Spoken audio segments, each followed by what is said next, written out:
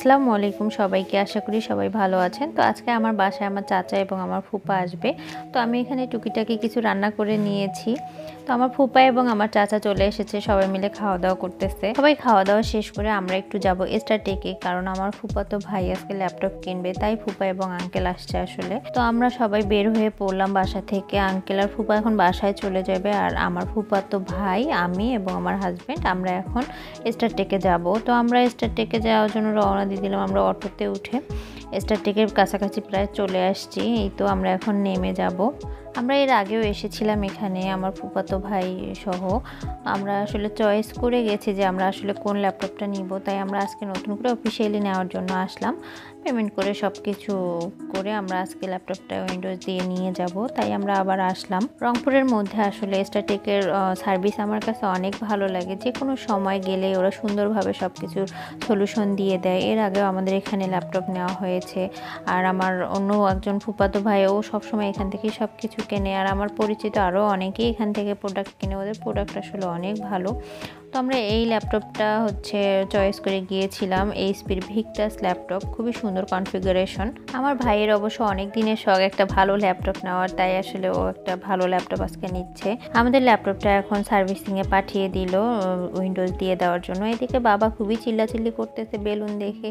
তো ওখানে সবাই বলতেছে, বেলুন হাতে দিতে বাবাকে। তো এক ভাইয়া এসে বাবাকে বেলুন দিয়ে দিল একটা যে, নাও। সে বেলুন পেয়ে খুবই খুশি। তো বাবা এখন বেলুন দিয়ে খেলা শুরু করে দিল। বাবা আসলে সবাইকে দেখতেছিল ওখানে আর খুবই মানে খুশি হচ্ছিল, হাসতেছিল। তো এর মধ্যে আমাদের সবাইকে চা দিয়ে গেল।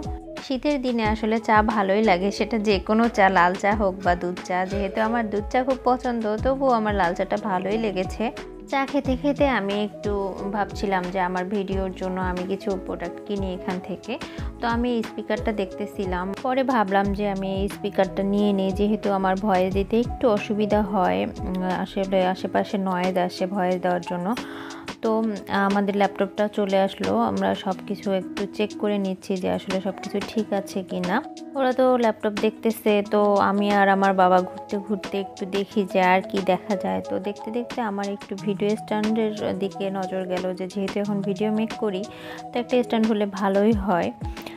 তো এদিকে হচ্ছে এখন আমাদের ল্যাপটপে পেমেন্ট করার পালা। এখানে আমরা হচ্ছে আরও একটা কুলার প্যাড নিয়েছি, মাউস প্যাড, একটা মাউস নিয়েছি, আবার আমার স্পিকারটা, প্লাস হচ্ছে আমি ভিডিও স্ট্যান্ডটাও নিয়ে নিয়েছি, যেহেতু আমার ভিডিও মেক করতে একটু সুবিধা হবে, আর মনে হয় যে হচ্ছে ফোন বা ক্যামেরা হাত থেকে পড়ে যাবে।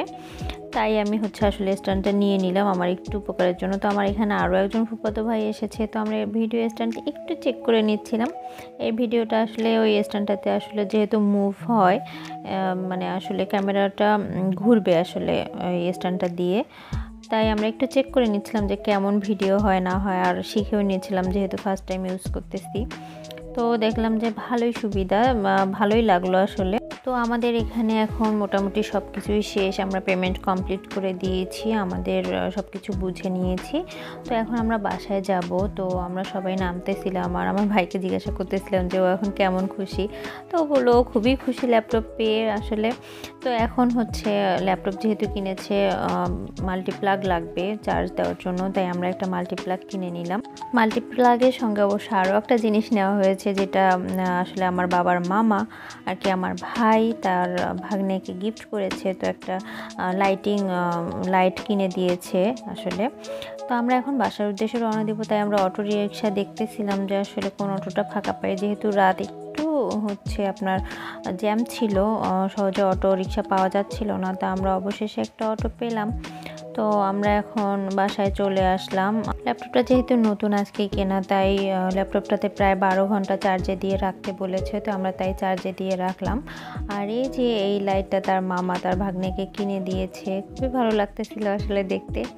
তো আমার আজকের ভিডিওটি এই পর্যন্তই, সবাই ভালো থাকবেন, আল্লাহ হাফেজ।